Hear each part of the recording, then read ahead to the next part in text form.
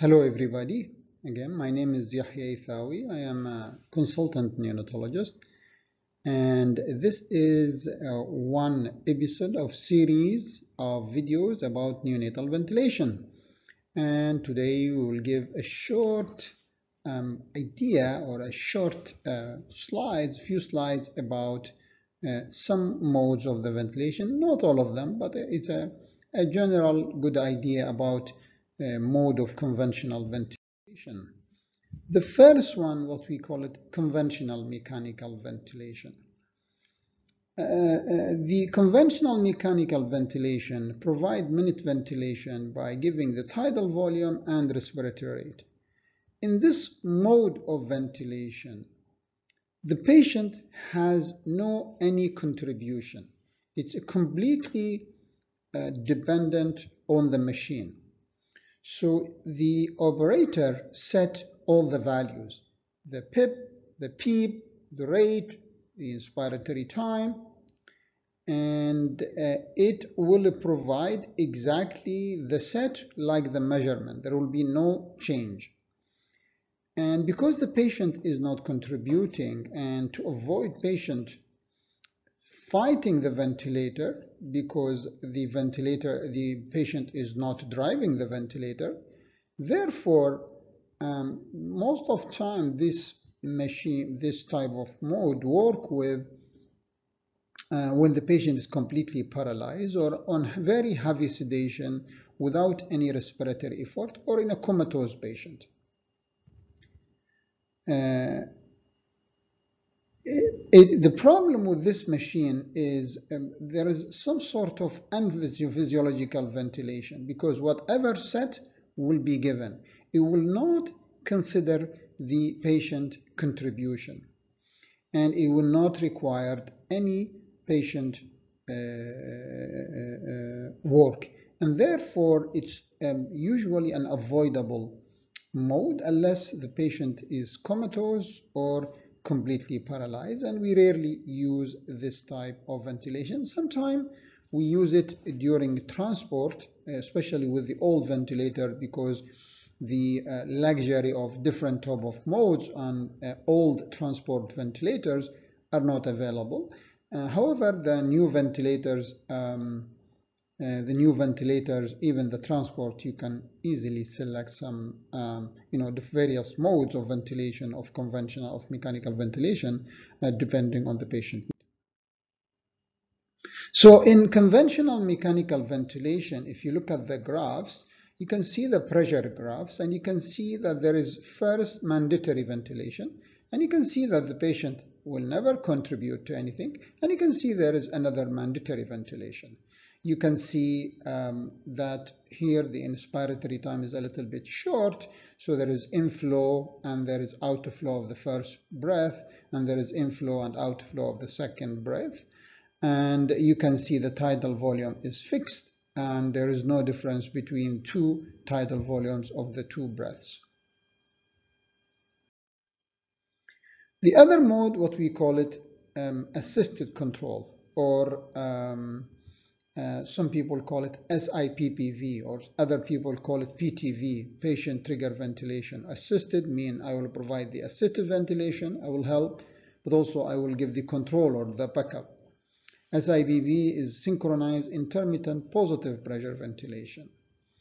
In this mode of ventilation, the operator determines the minimal minute ventilation by setting the respiratory rate and tidal volume. However, the patient can contribute to more uh, rates because it will be supported and more tidal volume. So the minute ventilation is not what the, the uh, operator sent, but the operator set with the, the, lowest minute ventilation. And the minute ventilation is um, uh, is the uh, result of respiratory rate and tidal volume of each breath.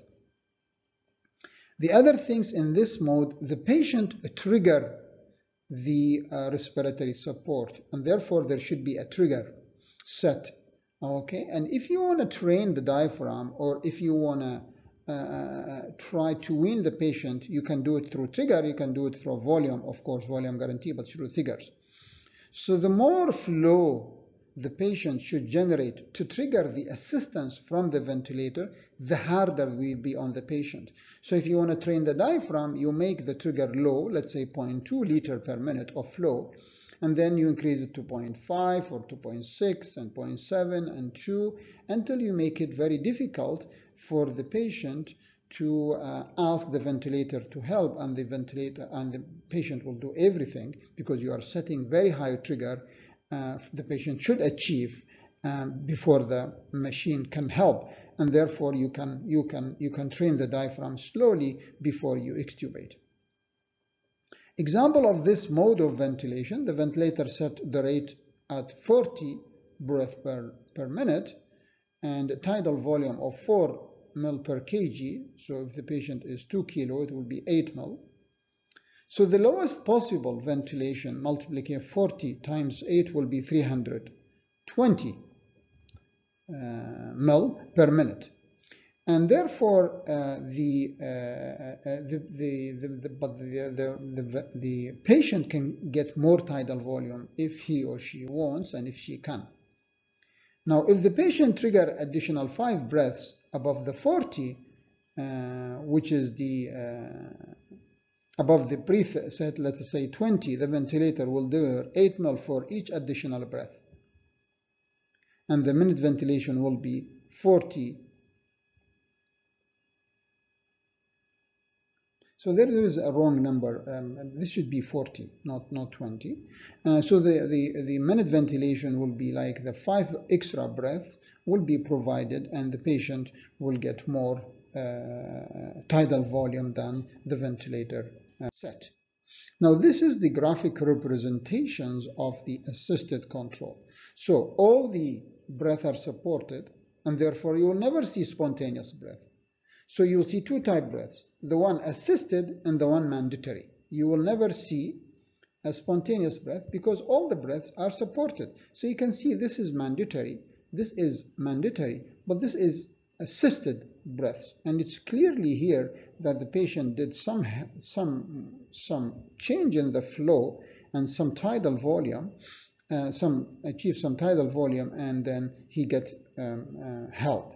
And you can see the uh, the uh, inspiratory time is beautiful because the flow starts from zero before inflation back to zero, pause a little bit before do the exhalation, and you can see the tidal volume is achieved. Um, um, so there is uh, mandatory, assisted, mandatory, no spontaneous uh, breath because all the breaths are uh, supported, and therefore we call the rate in assisted control a backup rate. Also, the uh, uh, operator can set the inspiratory time and the expiratory time.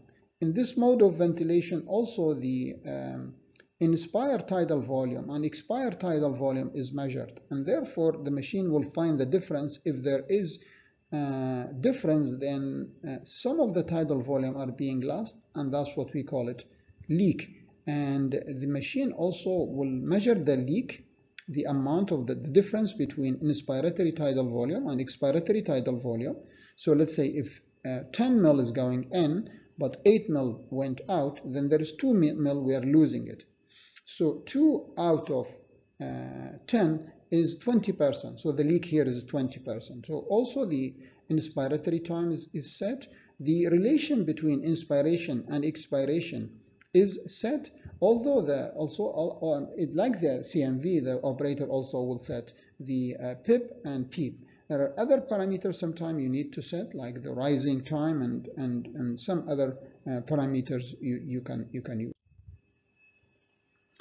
the IMV is exactly like a, a, um, a, a, assisted control or SIPPV or uh, uh, PTV. However, there is no synchronization. The only difference from assisted control, and this mode is not acceptable. Um, you only use it in like in CMV, you only use it for patient who's comatose or he's not triggering. Uh, but however, uh, uh if the patient is not triggering and use AC, it will be exactly same. There is no difference because, uh, but once the patient start to breathe, uh, then you get IMV. Uh, also, um, the assisted control will be like AMV if you increase the trigger and the patient cannot uh, trigger and therefore all the machine is, is, is, but again, there will be no synchrony. Um, again, the uh, minute ventilation set by the ventilator will be the minimum and the patient can increase minute ventilation uh, Uh, if he or she wants. So this is an example of IMV. You can see that there is mandatory breath, there is spontaneous breath that is not being held, another spontaneous being not held. There is another mandatory because of the inspiratory time, and you can see the patient also trying to breathe. So you have, if you look at the pressure, you could look at the last breath. The first breath is mandatory. The second and the third one is also mandatory. I mean spontaneous, sorry, the second and third. The fourth breath, you can see two types of breaths. The mandatory at the first, and then the patient start to breathe. And it's also uh, clear in the flow curve. You can see the first one is the mandatory, and then two spontaneous low flow, and then you can see the last breath is composed of two breaths. You can see the tidal volume in the first breath achieved because mandatory. In the second and third is not achieved because spontaneous. And you can see the last one has a little bit of notch because um, it's been two types of breaths. The uh, ventilator and the patient are trying to give the tidal volume at the same time because there is um, asynchrony. The uh, uh, SIMV is theme of SIMV. So you set the lowest and the um, ventilator only will give the mandatory. It will not support the spontaneous. The difference, the patient and the ventilator will never fight. They always synchronize. So um, if the, um, ventil the ventilator will wait, wait until the patient uh, trigger to the set that triggered you use, and then will deliver that, and they will never fight. So always synchronize between patient and the ventilator, but they are exactly like IMV, there's IMV. And therefore, um, you know, the uh, if we rank, uh, I will write IMV and then assisted control, conventional mechanical ventilation, assisted control, IMV, then SIMV. I mean, the, how much the patient, I mean, the machine is, is, is providing help.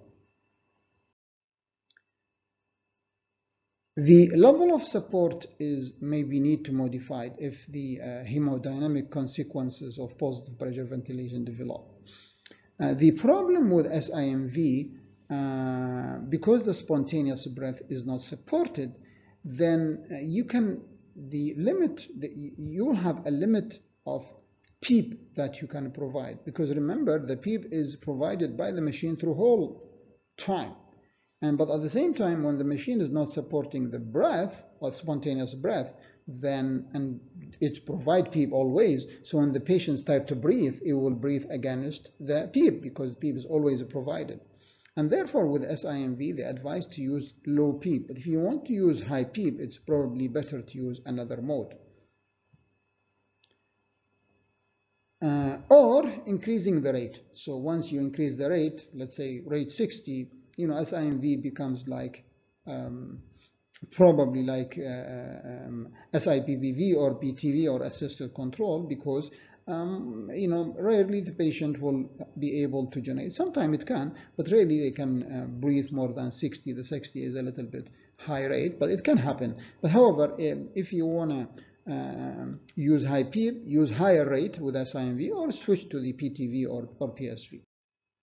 And here is the SIMV. You can look at the pressure wave in the first uh, line. You can see the first breath is mandatory. You can see there is spontaneous uh, two breaths, the first, the second, and third in the pressure curve is not supported. But you can see also that the last one is also mandatory. And um, um, um, um although the patient is trying to help, uh, if you look at the same uh, last breath in the middle curve, in the flow curve, you can see that the patient is helping. However, the machine synchronizes it with the patient. And you can see the mandatory first breath in tidal volume exactly look to the assisted in the uh, last one or, or, or, or never the, the, the, the, the uh, you can see the SIMV assisted window. It's exactly like the first mandatory. Uh, although it's not assisted It's a spontaneous and the, and the machine also provide at the same time between the first and last breath. However, they are not, um, they looks like same because it's synchronized. But you can see in the flow curve in the last breath, uh, they are not the same. The first and the last one is not the same. However, the machine deliver the same pressure, same tidal volume. So the difference between IMV and SIMV is always synchronization. Uh, you can see uh, also the um, SIMV again. Uh, you can see when you set the ventilator at the beginning, you can see that the first breath on the pressure, on the flow, on, on tidal volume is a little bit low. The second breath, the machine give more and it's past all the lines, the limit lines to achieve that pressure until it reach the third one, it reach the, uh, the standard volume that you want. Uh, and you can see the first one is low, the second one is high, um, and, and the, the, last one is normal. However, even in the second one, if you look at the pressure curve, they will never pass the limit uh, uh, pressure that you set for the uh, you set for the for the patient. Now, if you look at the uh, mode of ventilation, you can see the black color is uh, how much the machine is contributing, and the uh, white color is how much the patient is contributing. And you can see the level of CPAP. So you can see that um, CMV is mostly provided by the machine. Um, um, um uh, uh, the uh, R, the APRV, and I didn't mention this because it's mostly adult mode, is um, is a little bit different because we have PIP and we have PEEP. In APRV, uh, the uh, machine will provide continuous continuous PIP, continuous positive inspiratory pressure, and with, when and it's sometime uh, uh, when the patient uh, try to, uh, it will provide PEEP. So always provide consistent PIP and then sometimes provide PEEP. So the PEEP will be low. And so it's a reverse. It's a reverse ventilation. We don't use it in, in neonate. We have the assisted control um, because it um, provide the assisted, but also the patient provides. So it's 50-50. SIMV is um, we would we are not helping them the the uh, the, the baby because we are only giving the backup rate, so it's more uh, with IMV. It's not synchronized, and PSV um, um, PSV is is same like assisted control. The difference is you give wide uh, inspiratory time, and the patient actually can breathe um, and decide how much inspiratory time he or she wants. So PSV is like assisted control, so it provides the uh, mandatory and it assists the spontaneous. The difference is it's more like physiological because the in assisted control the inspiratory time is fixed while in PSV the inspiratory time you set it wide but the patient can determine what he or she wants uh, during inhalation uh, uh, up to the maximum inspiratory time that you set. Here is a little bit of, um, of comparison between different type of modes. So in, uh, um, in, in CMV, uh, the, uh, the strategy uh, uh, in SIMV can be volume limited, can be pressure limited. And the ventilator trigger, yes. The patient in both strategy is not helping in volume limited use the volume to cycle and the cycle is when we talk about cycle is how we change from inspiration to expiration from pause to inspiration from inspiration to pause from pause to expiration and so on. So in uh, CMV uh, either the, the cycling depending on the volume or sometimes the time. So we tell the ventilator during that time give inflation then that time pause then that time uh, give exhalation. And you can see the mandatory provided, yes, assisted is not supported and spontaneous is not supported. So there is neither synchrony, there is um, no no assist for no there is no so you can see only wave in the conventional the only wave that you will see is the mandatory you will not see assisted you will not see spontaneous in assisted control again there is two types of course in neonate we only use pressure limited and even in acid we use pressure limited. So there should, can be volume limited, can be pressure limited. Is the ventilator providing help in both? Yes. Is the patient also provide? Yes. How we cycle? In volume limited, we use volume, and in pressure limited, we use time. Is, is there is any mandatory? Yes. Is there is assisted? Yes. Is there spontaneous? No, because a ventilator will provide any breath it will provide to the machine. In IMV, there is also volume limited and there is pressure limited. So, um, uh, um, is the ventilator provide help? Yes. Is there is a trigger? Uh, yes. Uh, uh, but in IMV or intermittent mandatory ventilation, there will be no volume trigger. It's all time. So do you see mandatory? Yes. Do you see uh, assisted? Yes. Do you see spontaneous? Uh, yes, but the problem is asynchronized. In PSV, it's only pressure limited. There is no volume limited, and that's another difference between PSV and assisted control.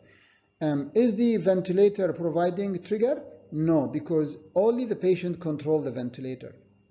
Um, in PSV, the cycle can be flow, can be pressure, and can be time. Is there is any mandatory? No, because if the patient does not breathe, the machine uh, will not provide unless you set a backup rate. Is there is assisted? Yes. Is there spontaneous? No. So it's always assisted. The ventilator will assist. The, the patient will drive the ventilator. Now CPAP is just a flow. I'm not. I'm not. Uh, tube compensation uh, depend on the mode, uh, whether it will be provided or not. There is a, little bit comparison between SIMV and assisted control, or also people call it SIPPV or PTV. And I did the comparison because they are very common, because they are most, uh, uh, most commonly used forms of ventilation.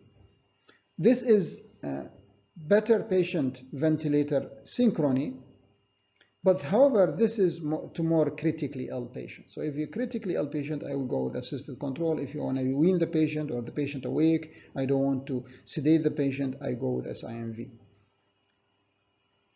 This one is also you can train the patient because you are not helping the patient. You are only providing the backup rate. So the lower the backup rate, the more the patient will depend on him or herself, and therefore you can train. Also, if you drop the, if you increase the trigger, you can train the diaphragm and the chest wall.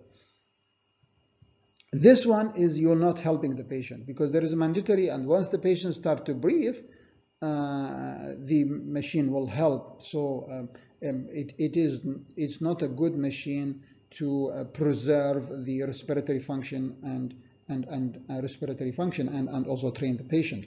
Um, however, if you increase the trigger, the assisted control from that point will be like SIMV. Uh, the because the the patient is the, the the the rate provided to the patient is a little bit low only the backup rate in SIMV so probably the auto PEEP is very low not like the assisted control the risk of having auto PEEP is low because uh, you're providing, you're supporting the backup rate that you set and any patient. So if the patient start to breathe very you know, tachypneic and let's say he's breathing 70, all the 70 will be provided, there will be no time for the inhalation to finish. And therefore the next breath will start before the first one finish and then the curve will not have time to return to the PEEP the set PEEP and therefore it will start a little bit higher and the uh, starting point and the actual PEEP, there will be an auto PEEP. In PSV, when we did the comparison, so the clinician, as we said, if you remember, it's always pressure limited, the clinician set the pressure to control. It cannot be volume. And the patient control the TI, and the physician will give a little bit long TI. Uh, it support the spontaneous uh, respiration. Uh, it's sometimes because uh, the patient control the IT and it's only pressure limited, and especially if you add VG as a as a as an adjunct mode, it looks like most physiological ventilation. You can train the diaphragm and respiratory. So some people you can use it as a sole mode, but some people use it as expiratory mode. Uh, you, most of people combine it with VG, for example, like um, close to it never be physiological ventilation, but it's close to physiological ventilation, and the machine driving the ventilator. But remember, if you use it for a long time, especially for a premature baby, the patient will, because the patient is driving the ventilator, the patient will might get exhausted Um, and how I resemble that, it's, uh, it's like asking a, a drunk to drive a car. You know, there is a problem at the end will happen. So the longer he, he or she drives while she drank or he drank, uh, the more likely to have an accident. Exactly when you use a PSV for a long time. Uh, the patient, you're asking the, the patient to drive the inspiratory time, to drive the pressure, to drive the ventilator. Um, sorry, asking, and, and what time you'll be exhausted. So if you're planning to use it for a long time, it's better not to use this mode, although this exhaustion with combining it with VG will be less. Um, so it's better to use it with PSV, and when you use it, uh, use it for extubation, and when you use it for extubation, try to use low rate uh, to keep the patient, um, you know, low backup rate. If the patient is exhausted and cannot breathe, you can give the backup rate, and uh, use the backup rate and let the patient drive the ventilator for two, three hours, and if he, she can do that, then probably they are more suitable uh, for extubation, even especially if the set parameter like the PIP, the PI, the PIP and the PEEP are low. So this is a, a graphic representation of the uh, pressure support ventilation. You can see whatever uh, the flow you give, it will never uh, exceed the pressure limit. And you can see we have various type of flow and so uh, this is the flow limit but this is the flow target. Um, so we'll never exceed a flow and you can see the tidal volume is variable depending on the patient. So again this is another comparison. I don't want to go through all of that but you can freeze and look at it and see if you can uh, if you can understand what it is and again I can answer. And you can see in um, in uh, what we call it uh, this mode of the ventilation or what they call it airway positive release ventilation you have only PIP you don't have PEEP so you have high PIP most of the time and then all of a sudden you get low PIP or I can call it PEEP so you can have high PIP, PIP, high PIP, and all of a sudden you get low PIP, and then you go back. So it's a kind of reverse ventilation. We don't use it in in Sometimes we can combine the mode of ventilation to get better benefits. So you can get ACVG, which is a combination of assisted control plus, plus volume guarantee. Or you can get SIMV plus VG or a PSV plus VG. Or sometimes you can get a um, assisted control, so you can give the backup rate as assisted and the spontaneously assisted, so mandatory as assisted, and the spontaneously assisted uh, so you give, sorry, you give the mandatory as assisted control or SIPPV and the spontaneously being assisted by PSV and again you can get VG. Uh, you can use assisted control or, or PSV or even same with VIVE or variable inflow, variable, uh, variable inflation, variable exhalation. And that's because it's a variable, it causes turbulence and because it causes turbulence, it was CO2. So if you have a high tidal volume, high rate, and you still have high CO2 and you don't want to go to high frequency, you can use VIVE as adjunct mode to wash more CO2 because it causes turbulence. And once you remember, um, tidal volume is changing the flow, that's mean turbulence. And it's the same idea when you use high frequency. You use turbulence and then you wash CO2. And thus I'm done with the uh, mode of ventilation. But with time, I will speak on with one mode, one mode. I will give scenarios and I hope you guys will understand it more. So by this, I end this uh, session about mode of ventilation. And if you have any question, just post it on YouTube. I'm going to answer. And I hope that I can do live uh, sessions uh, on ventilation uh, to answer questions. Thank you very much and have a good day.